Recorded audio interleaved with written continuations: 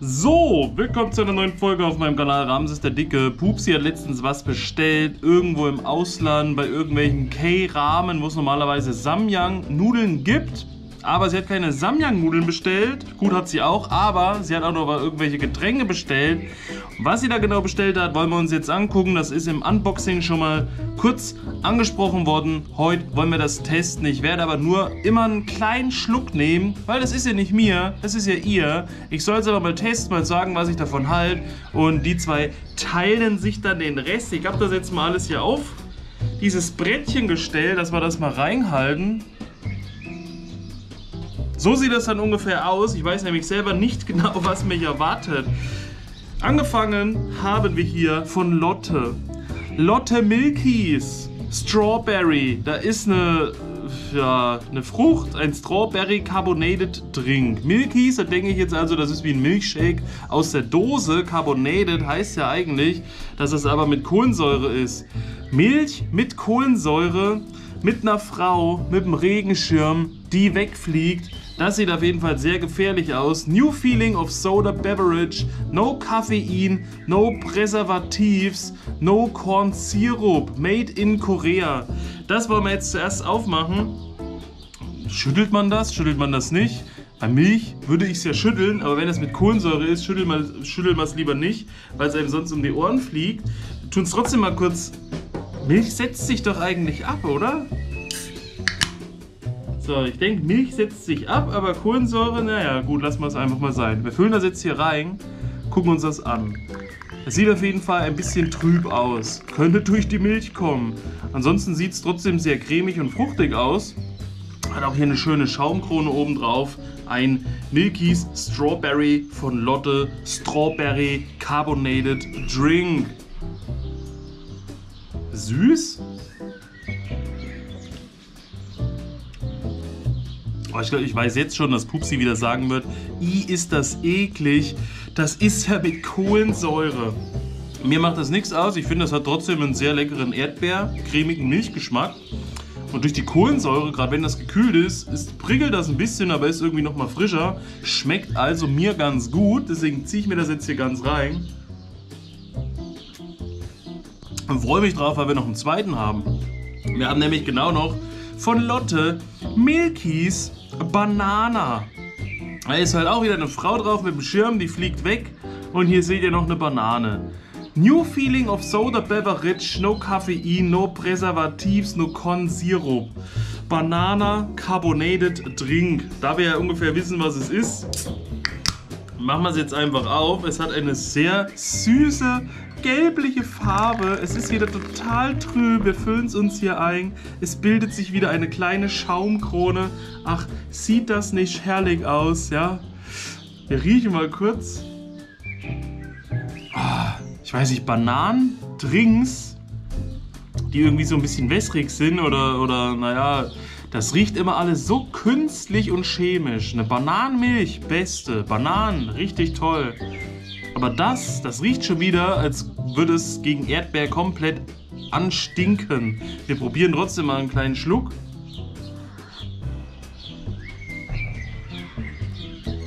Ja, also wenn Pupsi die Erdbeer überlebt und sagt, naja, so schlecht ist es jetzt doch gar nicht. Ich glaube, spätestens bei dem Bananadrink ist sie raus. Das hat, weiß ich nicht. Das, ist, das schmeckt einfach nur wie Bananenwasser, aber mit Kohlensäure, während Erdbeer ja auch irgendwie noch schön cremig war. Warum ist das jetzt nicht cremig? Das ist doch eigentlich Bananenmilch. Da fehlt mir die cremige Note, also Banane würde ich nicht nochmal nehmen. Von Banane hat sie aber sogar zwei Dosen bestellt. So, kommen wir gleich mal hier rüber. An die Seite. Hier haben wir nämlich eine rosane Dose. Da kann man nichts entziffern. Da seht ihr einen Pfirsich oder eine Nektarine oder Aprikose oder was auch immer das ist. In einer Kokosnuss drin, in einer Kokosschale.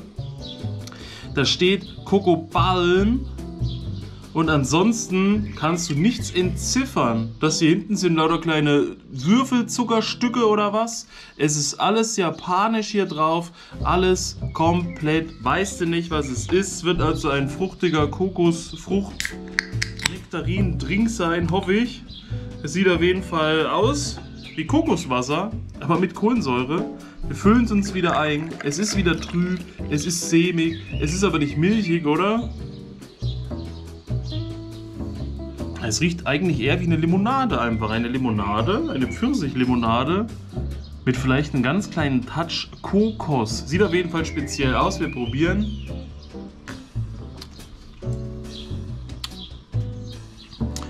So, Kohlensäure schmeckt jetzt gar nicht mehr. Es schmeckt eher wie eine Art Eistee. Wenn ich jetzt hier einen Pfirsich-Eistee trinke oder einen Mango-Eistee oder irgendwas anderes, schmeckt das eigentlich immer so richtig gut. Und das erinnert mich wie an einen guten tropischen Pfirsich-Mango-Eistee. Von, von, der, von der Kokos habe ich jetzt irgendwie gar nichts geschmeckt. Ist auch nicht so süß. Also das ist bis jetzt mein Lieblingsgetränk, muss ich sagen. Diese komische rosane Dose ist bestimmt Eistee. Ich weiß nicht, ob Pupsi weiß, was das alles ist, aber ja, ziehen wir es kurz weg. Gucken wir zum nächsten.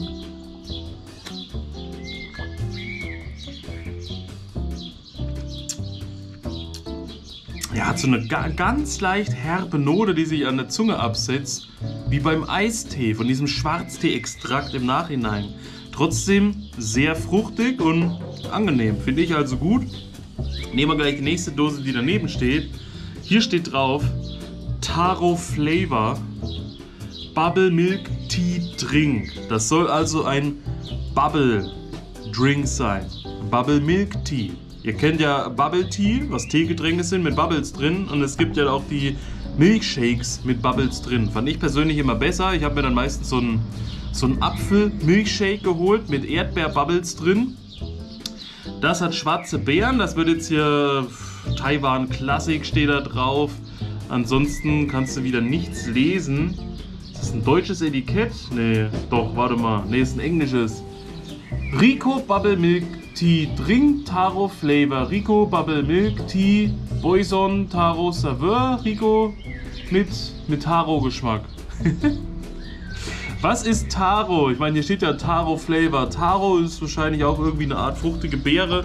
Wir machen es jetzt mal auf. Müsste auch milchig sein. Hoffentlich ohne Kohlensäure. Das hat irgendwie gezischt beim Öffnen. Sieht von oben aus, als hätten wir einen schönen Milchkaffee. Warum auch immer schön. Ich mag gar keinen Milchkaffee. So, füllen wir jetzt hier ein. Und wenn da Bubbles drin sind, dann sind die wahrscheinlich alle unten in der Dose festgeklebt und ich habe gar keine oder ich weiß es nicht. Das sieht aus wie ein Milchkaffee. Boah, das riecht komplett nach Karamell. Karamell, Popcorn mit Butter gesüßt, Kino-Feeling, aufdringlich aber. Das zum Trinken ist bestimmt mega speziell. Das toppt wahrscheinlich sogar die Banane und ist noch schlimmer.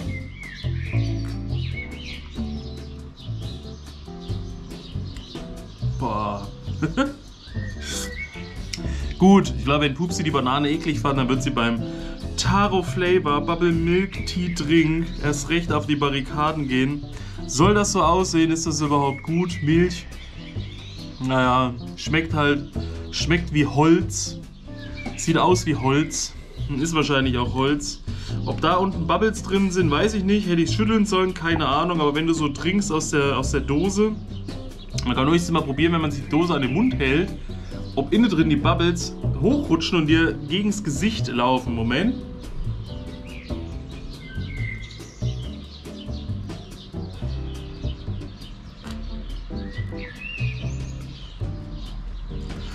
Und da bewegt sich irgendwie nichts. Es ist ein Milchtrink, okay. Vielleicht hat es Taro-Flavor. Es schmeckt, ich, mir schmeckt es leider überhaupt gar nicht. Also ich trinke es schnell aus. Bubbles habe ich auch nicht gemerkt, die da drin sind, dass, dass sich da was bewegt. Irgendwo musst du die Dose im Endeffekt aufschneiden, reingucken, ob da Bubbles drin sind. Oh, das ist wie irgend so ein Sahnelikör. Ein Sahnelikör, wo du dir sagst, ja, heute fülle ich alle ab. Dann haben wir als nächstes hier noch Mogu Mogu. Strawberry flavored drink with nada de coco. Got it chew. Da sind nämlich so richtig ganze Fruchtstücke drin, die da rumschwimmen. Da siehst du also extra, dass da was drin ist. Dann soll das also ein Erdbeergeschmack sein. Aber gleichzeitig steht da noch was. Oh, hier. Limonade mit Erdbeergeschmack und Nada de Coco. Kokosgel. Das ist also Kokosgel, was da drin ist. Kokos und Erdbeer gemischt. Muss man das jetzt rummachen? Wenn es Limonade ist, hat das vielleicht Kohlensäure. So, machen das jetzt mal hier auf. Der Deckel sieht auch gut aus. Da ist nämlich so ein Ding drauf. Das hat eine Wange und zwei Bäckchen. Das riecht total süß. Richtig nach Erdbeer. Okay. Füllen es hier ein. Ja, da kommen auch ein paar Stückchen mit raus. Das finde ich sehr gut. Hatte nämlich die Befürchtung, dass ich jetzt gar nichts von den Stückchen abbekomme. Aber die sind damit rausgeschwommen. Halten es euch auch nochmal hier hin. Seht ihr das jetzt? Gitarre ist was drin im Reagenzglas. Probieren wir mal.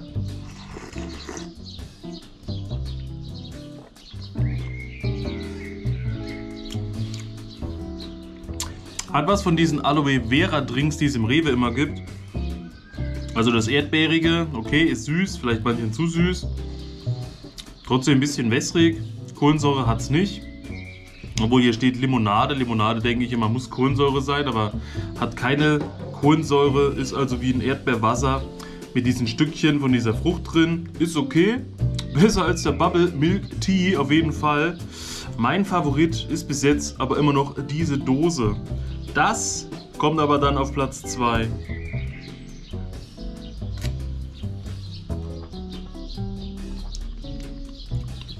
Und doch, je mehr man davon, davon, trinkt, merkt man, dass es eigentlich ganz cool ist. Und dann haben wir noch diese komische Flasche, wo ich nicht wusste, was das sein soll. Er ist irgendwie so komisch zugemacht. Hier, hier zeigen sie, du machst das ab, du teilst das, dann steckst du was drauf und dann drückst du drauf, zu welchem Zweck? Als wäre es ein als wäre es ein Duftspray oder Raumerfrischer, vielleicht kann man es gar nicht trinken. Steht hier irgendwas Deutsches. 89% Wasser, Zucker, Maissirup mit hohem Fruchtzugehalt,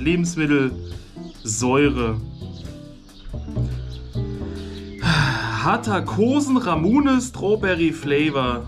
Was aber genau das ist, weiß ich nicht. Deswegen, ich kann es euch nochmal zeigen. So sieht das also aus. Jetzt versuchen wir hier oben das Ding abzumachen.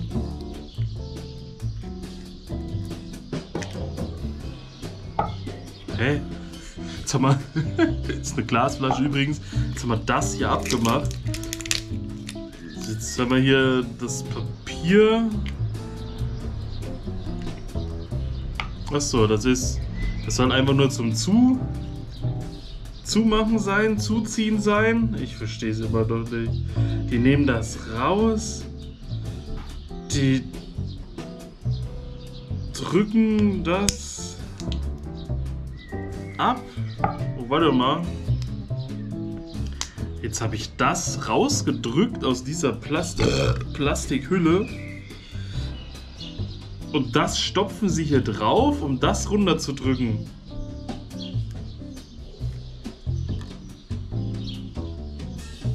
Aber wozu? Ich verstehe es nicht. Ich habe keine Ahnung, was das darstellen soll. Oh. Einmal draufhauen mit Gewalt. War keine Gewalt, das war gezögert. So, Moment. Ich will den Tisch nicht kaputt machen.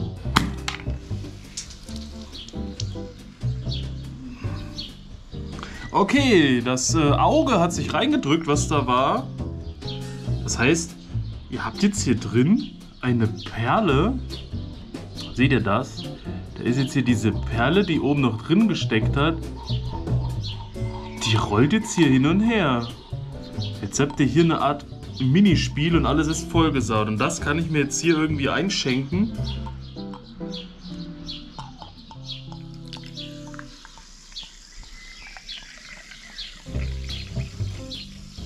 Und es sprudelt wie Sau. Also das hat auf jeden Fall Kohlensäure.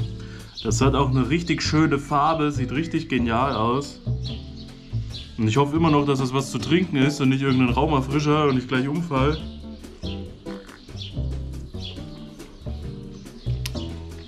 Ah, schmeckt aber auch wieder total babbig. Irgendwie künstlich süß mit direkt faden Nachgeschmack. Viel Kohlensäure, mega wässrig, fad, künstlich süß. Nichts, was ich zur Erfrischung trinken würde. In einer richtig dummen Flasche, die richtig komisch aufgeht. Jetzt habt ihr hier das alleine drin, ne? Jetzt seht ihr das, wie das hier rumfliegt. Das ist ja schön, das kann man sich hinstellen, so als Minispiel, aber irgendwie weiß ich nicht. Wer, wer, wer, wer das erfunden hat. Jetzt trinke ich den Rest noch. Und ansonsten würde ich sagen, war es das von meiner Seite aus.